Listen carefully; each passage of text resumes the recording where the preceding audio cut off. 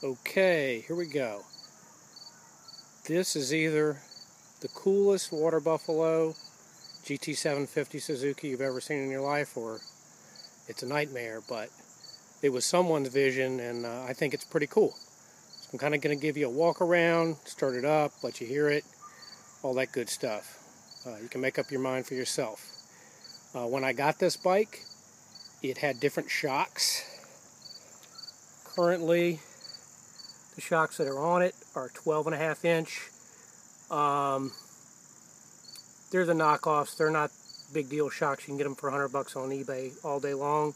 It had a set of 11 inch progressives on it, which set it down lower. The previous owner was not very tall, and it looks really cool that way. But as you can see now, there's not a ton of ground clearance on the bike. It does fine like it is now. But uh, the way it was set up, you really couldn't lean into a corner very far. And the next thing you know, she's scraping the kickstand. So, anyhow, quick walk around. Totally custom. As you can see, it's got drilled discs, a custom paint job, a custom uh, bikini fairing, custom headlight, and the paint theme is Pirates of the Caribbean. Uh, got a dual horns that are very loud, and the custom paint actually extends to the radiator guards.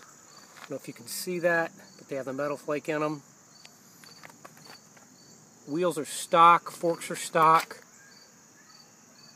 The only real flaw in the paint, if you look closely here, you can see I tied it down too tight or somebody was really heavy and rode it one time, bottomed out the fork there. Also, if you look carefully back here, there was a pad on top of this. I, I removed it where if you're not really careful at full up bottom, it can touch the radiator guard. So that scratched the front fender. Other than that, the paint is flawless. Um, here's the tank. And if you look up top here, dead men tell no tales. And I mean, this thing looks so awesome in the sun. It's incredible. The theme is carried over to the side covers, which are also flawless. The wraparound custom tail.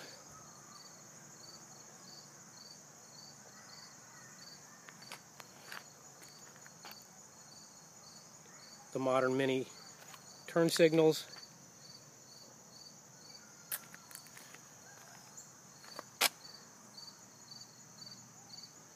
Custom drilled out chain guard.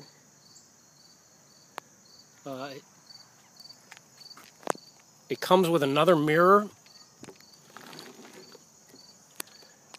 I took it off because you only need one. And that one had a tendency to fold at speed. Uh, this bike is very fast.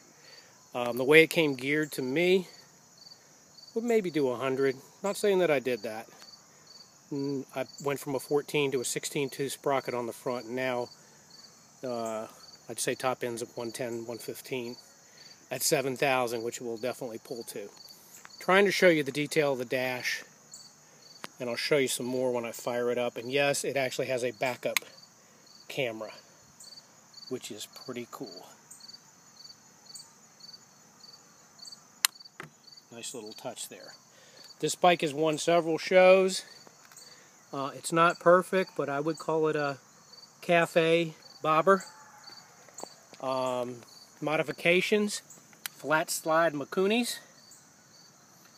Uh, expansion chambers, and the bike was tuned by Fast by Ferracci, 63 horses at the rear wheel. So this is definitely a strong Buffalo.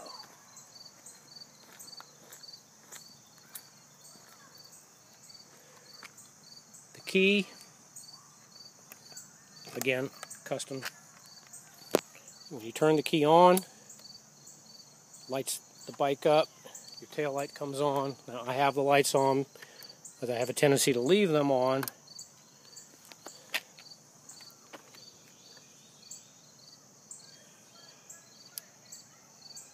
As you can see, the gauges light up when you ignite it. Um, for some reason, the tach light does not work. And for some reason, this temperature gauge over here, it was working. It works intermittently. There's an exhaust temperature, separate one for each cylinder. For some reason, the right cylinder one works intermittently. I think it's the sender. I can't say for sure. Cylinder head and water temperature, 71 and 74, so you can tell the bike is dead cold. Hasn't been run today. Hasn't been run in a couple of days. I'm going to start it up right now just so you can see how this bad boy sounds. Now with the flat slide you pull up each choke individually, which is what I'm doing right now.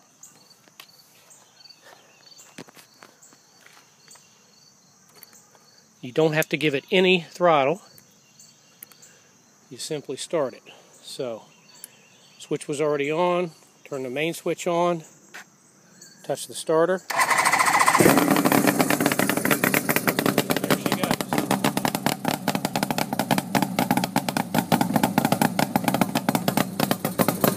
Requires a choke for the first start. I can immediately go in and turn the chokes off.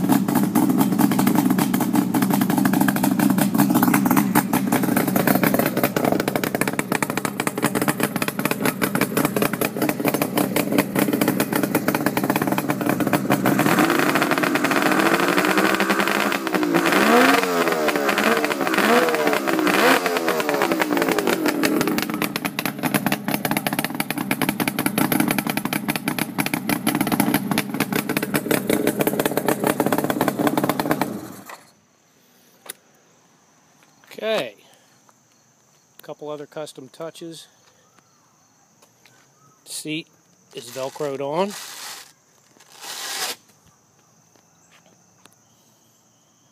Got access to the battery leads in case you need to charge it. And access right here for the oil tank. You pull that little plug out with needle nose pliers. And as you can see, we got a skull on this side of the oil tank.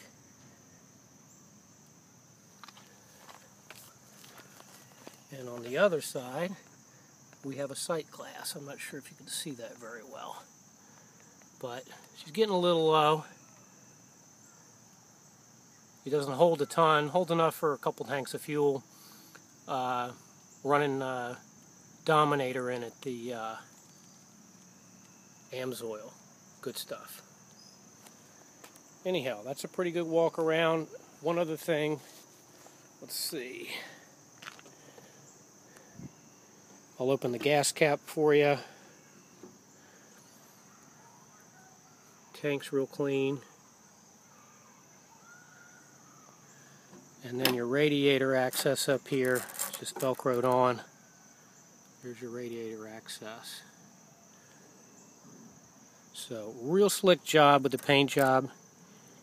Got a receipt for that. Got a receipt for just about everything done to this bike.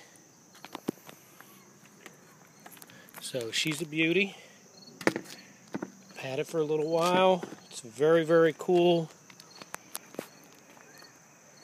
Just uh, kind of testing the water, to see if maybe somebody else likes it better than me. Thanks for watching.